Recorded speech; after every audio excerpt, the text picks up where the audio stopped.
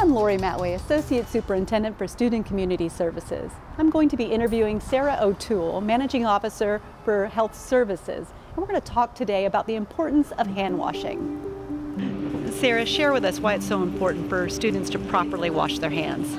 Hand washing has been proven to be the best way to prevent the spread of germs from person to person, which is especially important during the cold and flu season and with all the other things that are out there. Now, does it matter if they're using warm water, cold water, extremely hot water?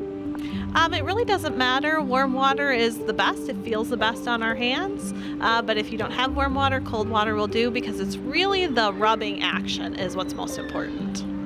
So, how long should they be washing their hands?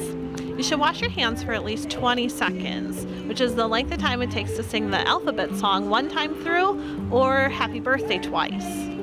So, since germs can live anywhere on our hands, it's really important that we get the backs of our hands and in between our fingers because germs like to hide there.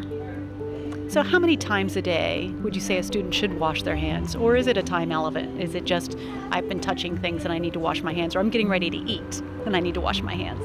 Well, there's definitely certain times that everybody should wash their hands. After you use the restroom, before and after you eat food, and then when you come into contact with anybody who's been sneezy or coughing in your direction, it's a good idea to wash your hands.